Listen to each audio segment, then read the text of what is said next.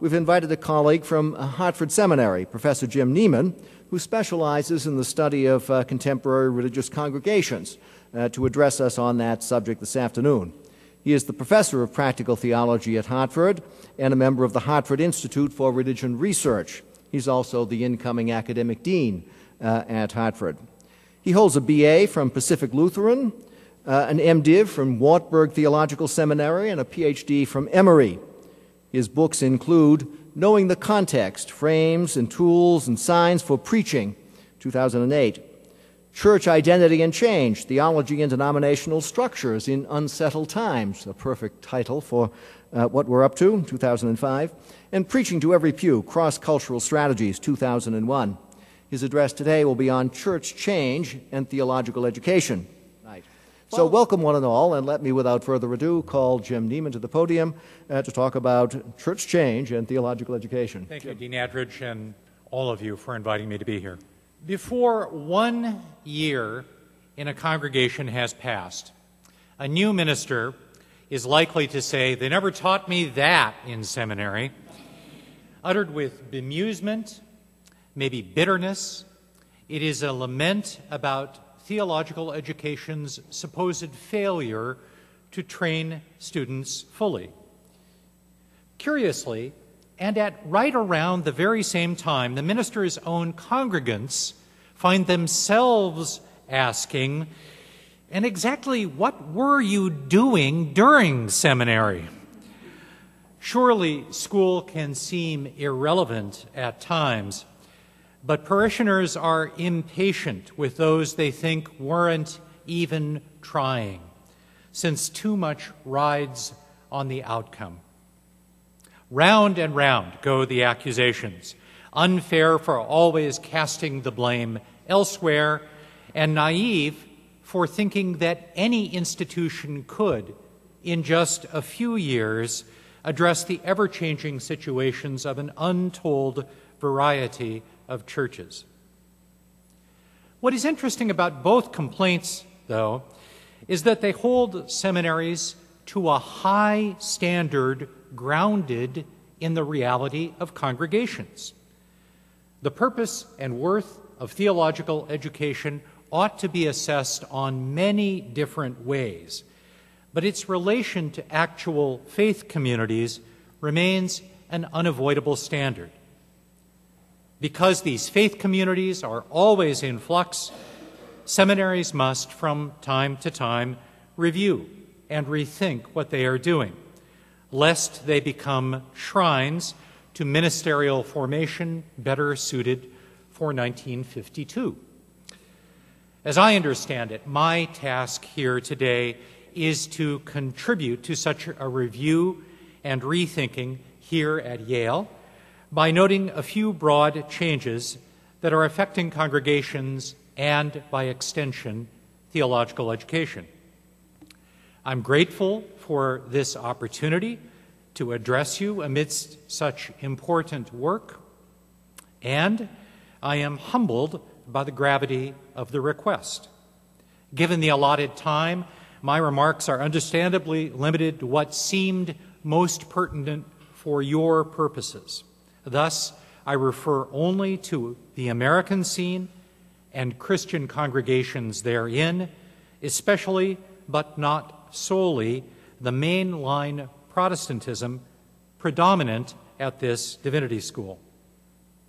There are many other changes or groups not mentioned.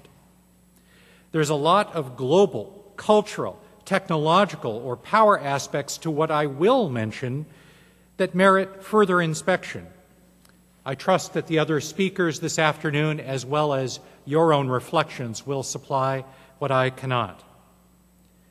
I have chosen to identify four of the most dramatic, pervasive, long standing, and interacting changes in church life that dare not be ignored in trying to prepare leaders for such churches. These four are one, the growing economic distress in congregations, two, the distinctive conflict unsettling churches, three, the shifting forms of religious commitment, and four, the muted voice of theology.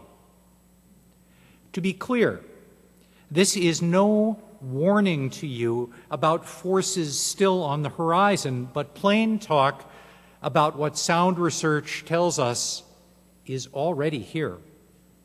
For compactness, let us refer to these four church changes as funding, fighting, belonging, and believing.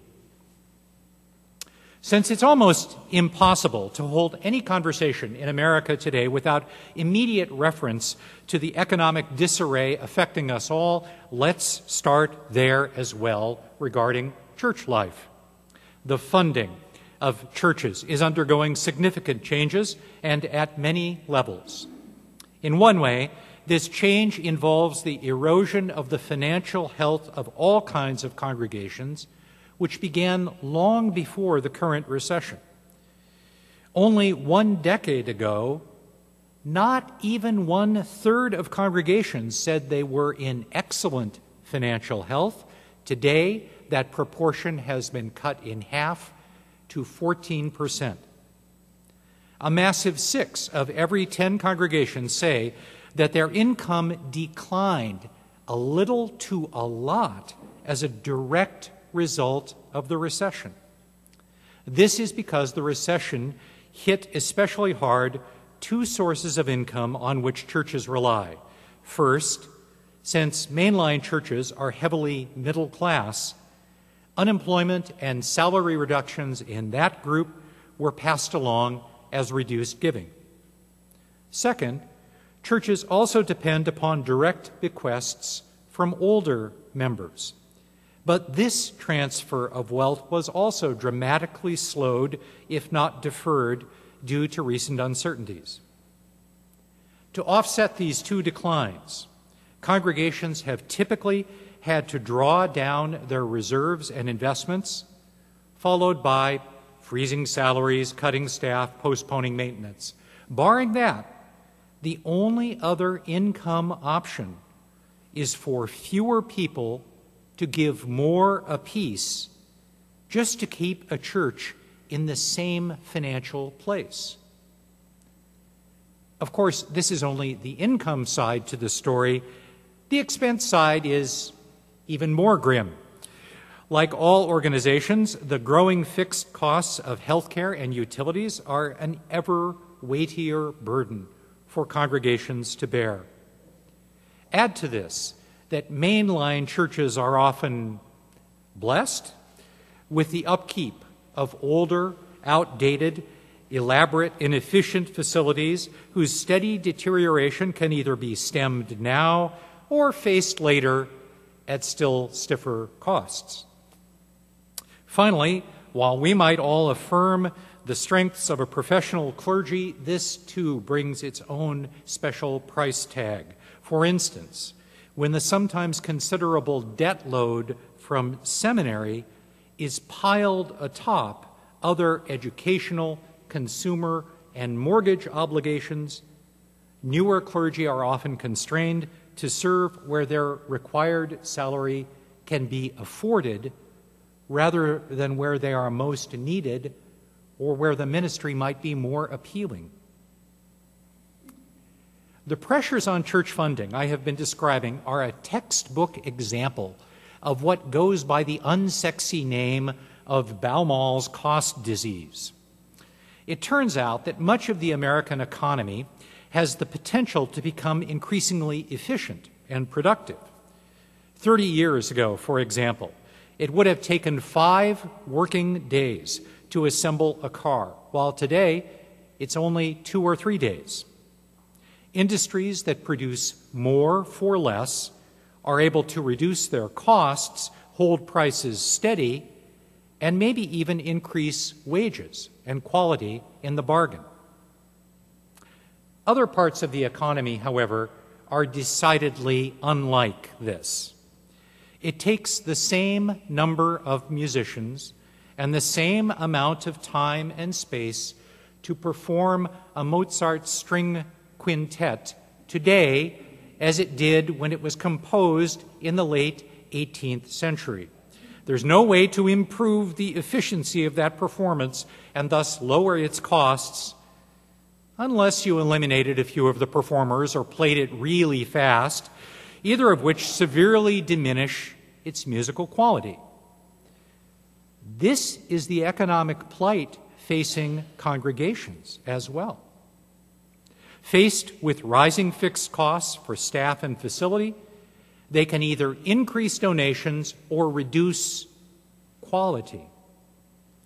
To be sure, church donations once did keep pace with costs, but that ended back in the 1970s. Larger, growing congregations can still increase income by asking more money from more members, but smaller congregations have fewer such options. So for them, the problem is especially acute. All they can do is cut hours or programs, defer maintenance, endure undesirable clergy, or perhaps join with other churches, all of which are perceived as reductions in quality. In many respects, then, Baumol's cost disease reveals the unenviable and ultimately untenable economic model that bedevils about a third to a half of American congregations today. You're talking about 170,000 congregations. Perhaps by now you think that I have wandered far from anything about the church that pertains to theological education. However, since we don't yet inhabit a pure heavenly realm, the material realities of church organizational life must be faced, especially because they so directly shape the mission and ministry of congregations. To be pointed about it, are our seminary graduates ready to challenge the dominant church ethos of perceived scarcity and its downward spiral of disappointment and fear that leads churches to pull ever inward. It's clearly a matter of mission and ministry when everything is driven towards survival. At a still more basic level, are our new ministers able to interrupt the economic background noise in their parishioners' lives with an alternative discourse of thanksgiving, generosity, and hope. Sociologist Robert Wuthnow's research in the mid 1990s showed that while 60 to 70 percent of Protestant congregants regularly worried about their financial or work life, fewer than 10 percent had ever spoken to anyone in their church about the question. And a mere 40% could recall even one sermon during the year that had mentioned anything like an economic topic. Can seminaries help students overturn this dismaying record? Can we equip new ministers to lead forms of church life less economically stuck and missionally myopic? Can we empower pastoral witness to ways of economic being marked by grace and not self protection? To do so means engaging something that theological education has so far largely avoided. If my remarks about the economic plight of congregations has made you just a little bit more tense, then you're well primed for the next change. I'd like to mention church fighting. A series of national surveys starting in 2000 has repeatedly shown that three quarters of American congregations in all religious traditions, not just Christian, reported facing major conflict during the preceding five years. We also know that at any one moment, about one fifth of all congregations are actively involved in a conflict.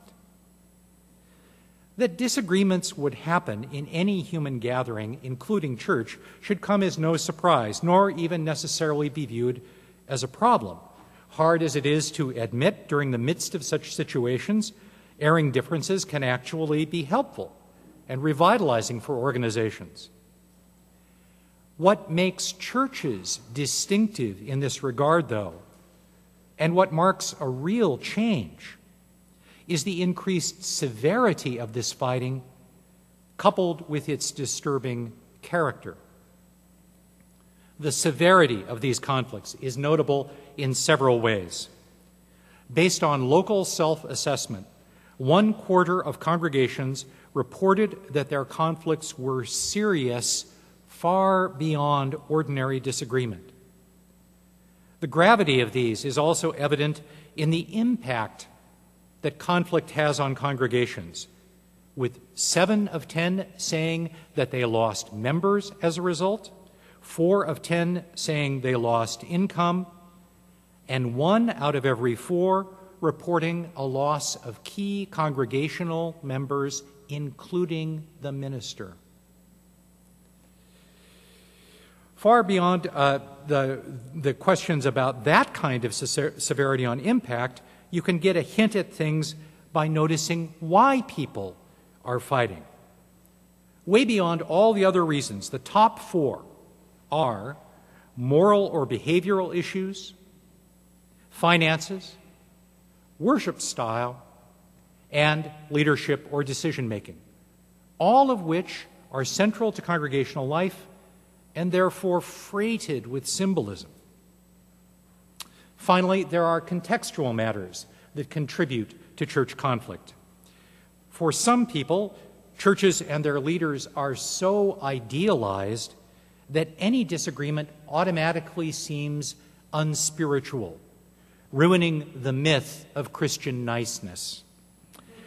For others, their own personal problems or emotional fragility led them into a church for acceptance and nurture. So any fighting reintroduces a danger to avoid at all costs. Still, other folks readily link a disputed issue with a larger ultimate concern, so that, for example, adopting a new hymnal is overlaid with who really loves God the most raising the stakes of the discussion, not to mention the volume. This last comment moves us from the severity of church conflict to its unusual character. We have come to realize that while congregations do indeed fight about interests or issues, their most heated problems involve those of identity. It's less about what we think or desire which at least can be discussed or negotiated, and more about who we are, our basic human dignity and worth. What generates church battles is not really akin to the issues behind, say, a labor dispute, but closer to the attitudes that drive ethnic cleansing Distressing as it is to admit this, scholarship on identity based conflict at an international level has much to teach us about the predominant kind of fighting found in congregations. Identity conflicts begin by categorizing people within a single overarching system of partitions, what Nobel laureate Amartya Sen calls solitarism that reduces people to a single affiliation, a one dimensional life. In a congregation, then, you're either liberal or conservative and nothing else. You either like traditional or contemporary music or nothing else. Such a solitary identity is then redefined in belligerent ways.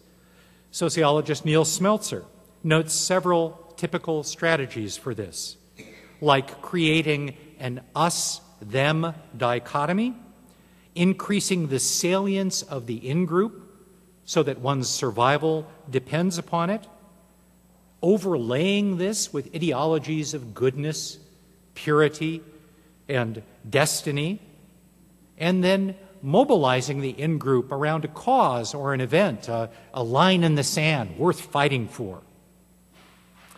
A still more distressing similarity is that whether global or local, identity based conflicts are experienced as trauma. The deep personal attacks used in these fights not only overwhelm most people's resources to respond, but they also have a lasting residual effect with past conflicts, leaving emotional bruises still sharply felt in any new dispute. That's why, when church members endure one terrible battle, they rarely stick around when the next one begins, no matter how trivial or different, since to do so would mean reopening a wound.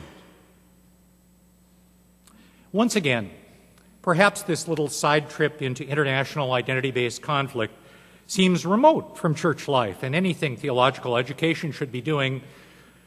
Or maybe, like me, you've spent more than 10 minutes in a local congregation and sense its chilling relevance. Even more troubling than what I've said so far about church conflict is how it is sometimes treated by leaders as a problem with simple causes, best fixed by managerial techniques. I recently heard an ecclesial official confidently state that every church schism he had ever known was due to either members led astray by a manipulative leader, congregations mired in long standing cycles of fighting, or well intentioned people acting on what they didn't understand.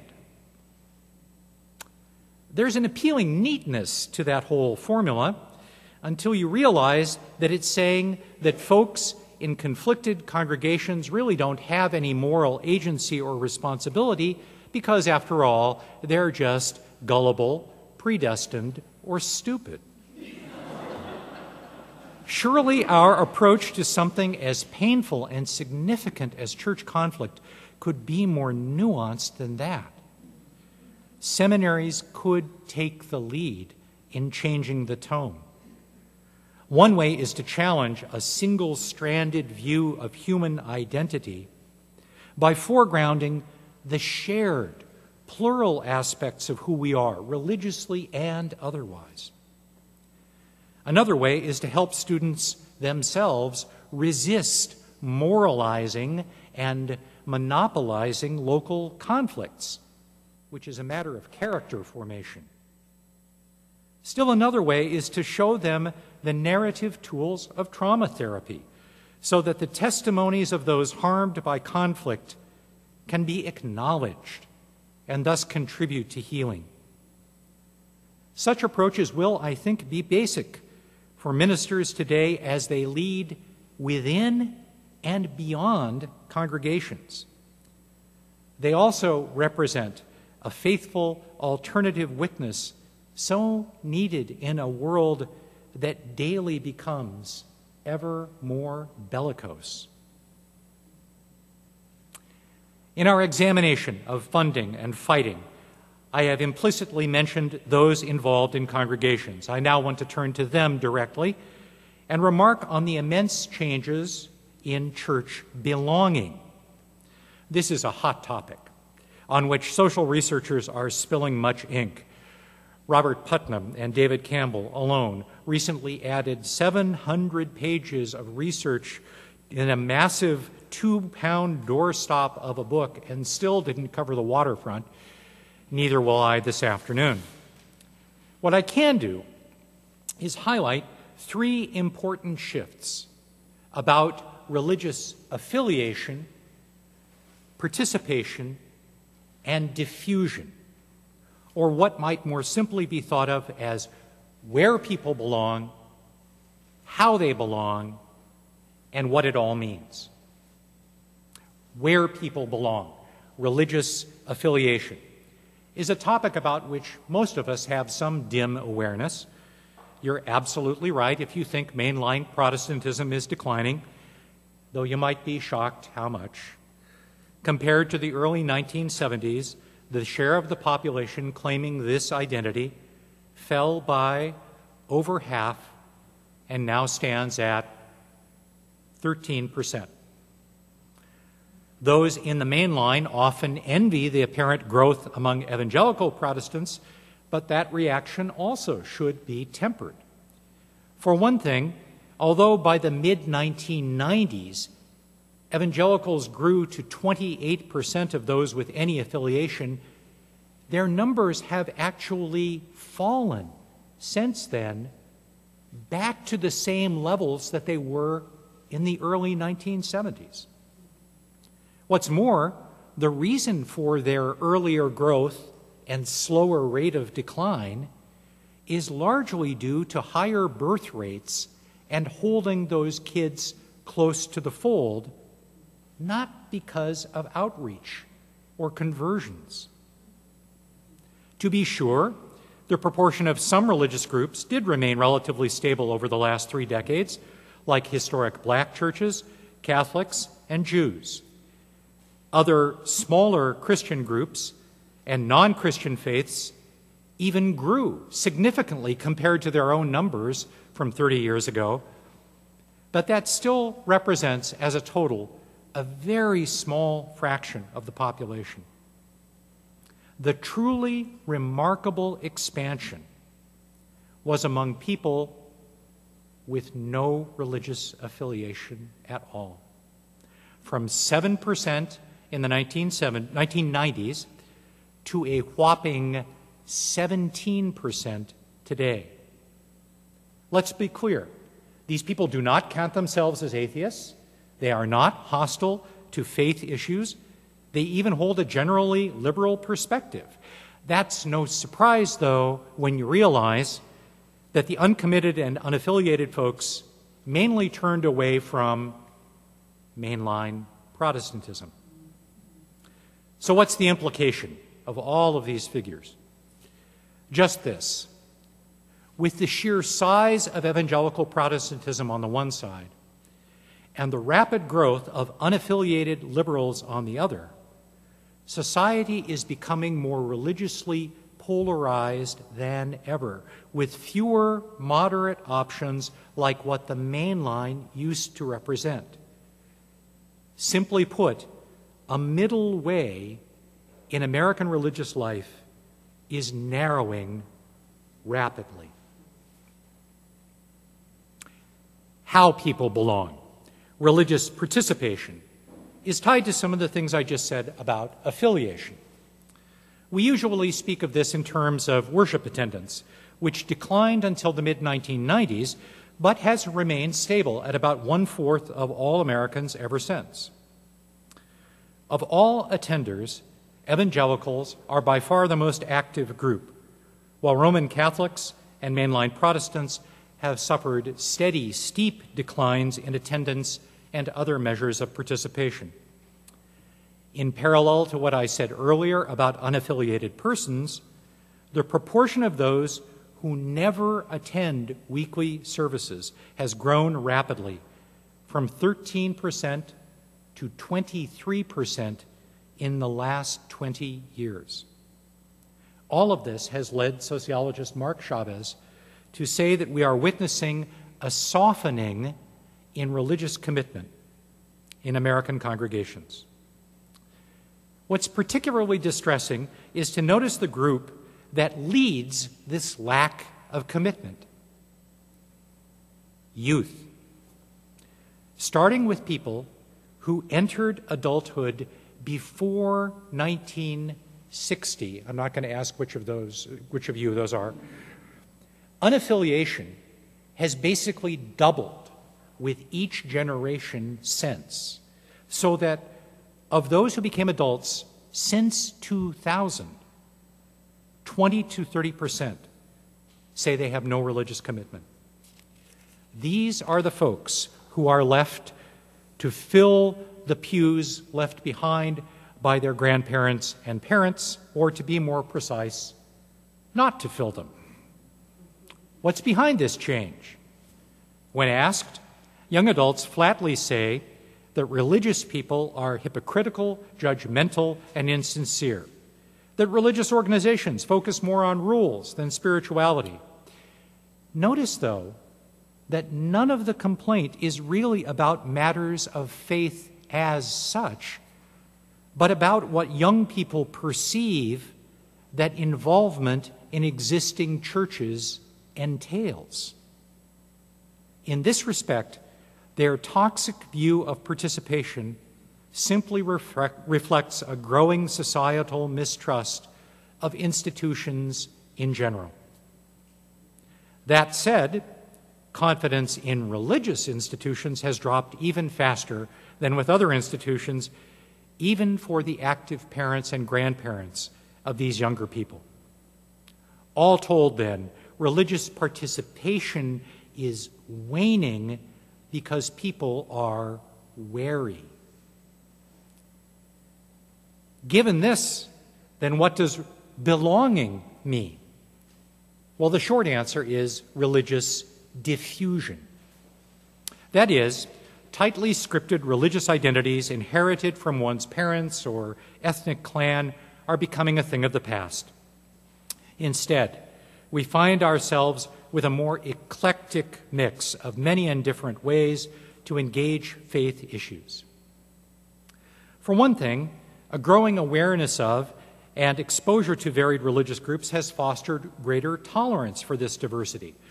When your favorite coworker is a Muslim, or your beloved child marries a Mennonite, it becomes harder to ignore that these traditions really matter to other people, which ends up changing your own perspective. Add to this that we now affirm what has really always been true that religious identity is not monaural, but is actually drawing from multiple strands and influences. Sociologist Nancy Ammerman's research into everyday spiritual lives is decisively showing the borrowed, reconfigured, overlapping practices that comprise many people's religious lives. While some of these practices derive from specific traditions or congregations, many of them do not, and so have largely been ignored by religious professionals.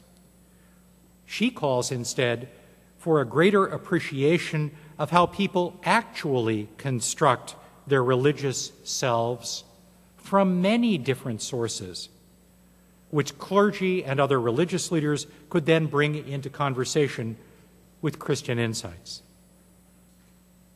Seminaries can be directly involved in catalyzing this process, but not if we are trapped in more hand wringing anxiety about why there aren't as many mainline Protestants as before. The time is ripe for paying attention to what people are actually doing religiously, the why and the how of their faith lives. Intriguingly, our own students are the direct products of this changing ethos of church belonging. Are we willing to listen to them about how to engage what they already find abundantly familiar?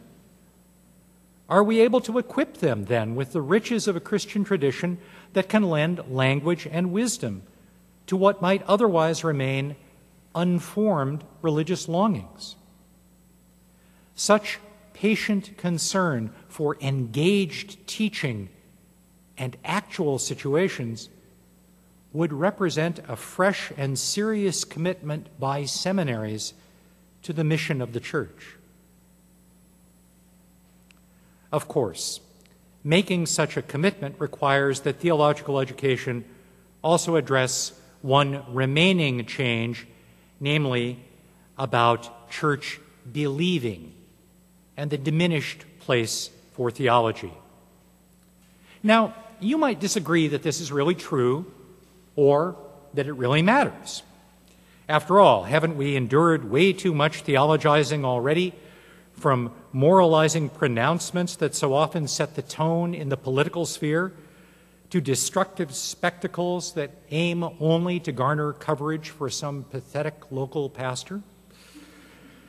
And at the same time, Since we live in a world facing sorrow, neglect, and violence at almost every turn, what could be more useless and sterile, we think, than dry abstractions about arcane religious texts? While neither accusation is utterly without merit, both are quite caricatured. On the one hand, certainly some kinds of polarizing speech do employ a religious overlay to turn up the heat, but they can hardly be reviewed as ample theology. Closely considered, their real point of reference isn't really God, the theos of theology after all, but instead mere human desire for security, strength, success. And on the other hand, surely some forms of doctrinal scholarship are technically difficult, but no more so than the disciplined study in fields like law or medicine, and that misstates the largely accessible character of much theological writing today. More to the point, this latter complaint also reduces theology to its secondary role in the academy, a truly vital reflective task, but not the only way that theology is done. More on that last remark in a second. My point so far is that church believing has changed, but not because theology is initially polarizing or inevitably irrelevant. Instead, churches now face external forces that corrode belief, matched by internal inaction that leaves belief drained. Let's look first at those external forces. I am persuaded by philosopher Charles Taylor's claim that we inhabit a new sort of social imaginary. A social imaginary is how we think about our common life, how we relate to others, what we expect of them. It sets the horizon for how we think, the norms that guide shared existence. Taylor argues that our social imaginary today presents a very different way of being human. We have gradually adopted what he calls exclusive humanism the idea that human well being is now an end in itself, apart from any divine purposes. We are masters of all we survey, friends, because that's all there really is. For this reason, religious belief has now become entirely a matter of choice, optional in a way it never was for previous generations. Such corrosive forces make it harder for people simply to remain faithful, let alone practice what they believe. The situation also calls into question what church still means and whether it has anything left to say.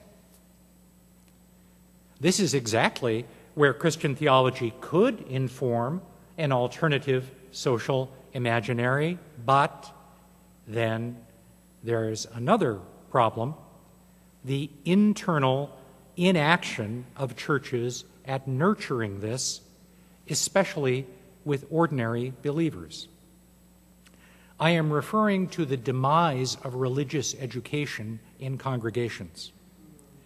On average, nationwide, one in five adult attenders reports being in a church educational program. Only one in five. It's higher among evangelicals, where half to two thirds say that they're regularly involved, but the main line hovers in the low 20% or below.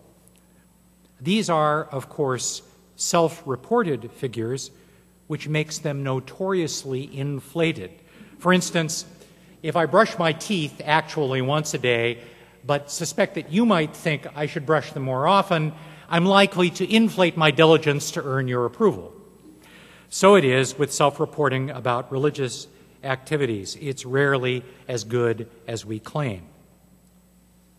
So maybe the picture would be rosier if we considered adult education classes actually offered in churches.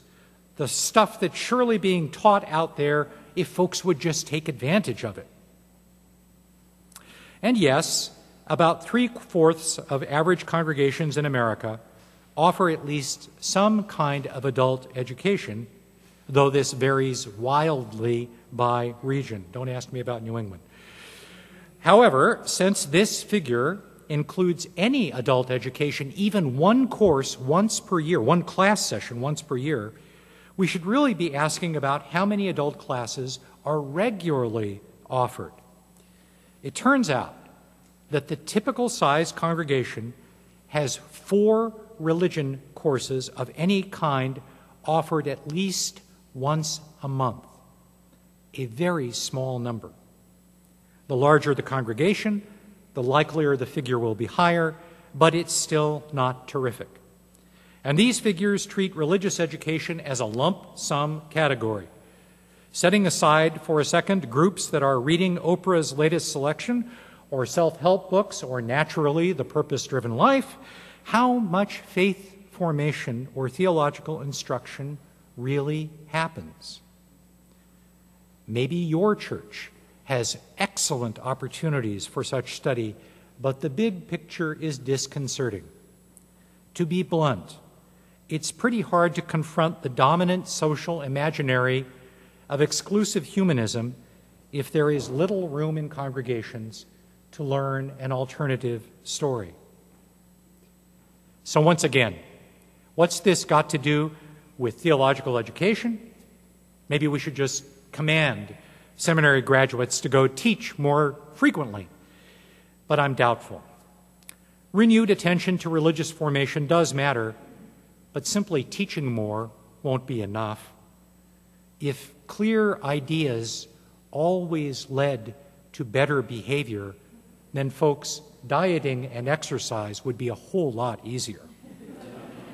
no, what we need is to again respect the theology in our midst how it really works locally. And this brings me back to my earlier comment that there are more ways to do theology than those secondary forms of the academy, as wonderful as they are.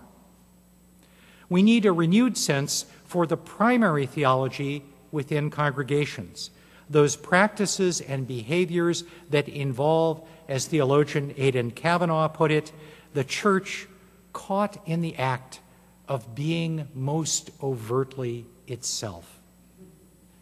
That is, what are the theologies embedded in how people pray, what they decide, even when they fight? It's these forms of primary theology that new ministers could bring into conversation with the secondary theologies learned in seminary. This iterative, back and forth, systole and diastole rhythm of the two theologies would redevelop a vocabulary of theological wisdom, reshaping how people think and act in all of their lives, not just within the church. Armed with such a social imaginary, we might even hope for ordinary folks to manifest a more supple theology in the many publics where they have genuine power at home or school, in the workplace or civic life.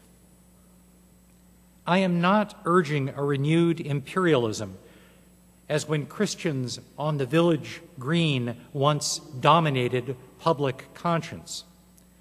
Instead, I imagine enabling a creative discipleship from the margins which theologian Douglas John Hall once described as being sent with increasing insistence to manifest something like a new nonchalance about the self and a new attentiveness toward the other. This afternoon, we have examined four church changes funding, fighting, belonging, and believing. that are especially relevant for theological education today. We could, should, and doubtless will name others besides, but I'm grateful for your patience through this long journey. In what might sound especially strange at this point, I want to add that I have not been portraying anything like a narrative of decline. I have been a Lutheran pastor for nearly three decades and a seminary professor two thirds of that period, and I find nothing depressing about what I've presented. Maybe it's because I'm Lutheran. These are the realities of what churches are facing today. But it's still an exciting and invigorating time to be part of an enduring mission and emerging ministry. I feel sure that our seminarians think the same. Do our seminaries? In one of the peculiar paradoxes of theological education, those who are most astute about the issues I have raised are lodged in organizations often ill suited to negotiate the needed changes in timely fashion. Like other organizations, divinity schools easily become inflexible, comfortable with what they've always done, and thus slow to adjust. They fall back on received heritage or acclaimed prestige, reassured that all is fine just as it stands. Compounding this, faculty effort is rewarded by professional guilds and disciplines, but rarely by the church. So it's not hard to guess where their intellectual energy goes, especially around times of promotion and tenure. And beneath it all, are the unexamined ecclesiologies that lead seminaries and boards to think that some churches only need a little tinkering, or maybe get back to the basics, or need to be completely overthrown. If only one tenth of what I've said is true for any one seminary, it's still not a very promising way for schools and churches to engage in their mutual interest around preparing new leaders. And still, this is not a narrative of decline. We are at a decisive moment for rethinking.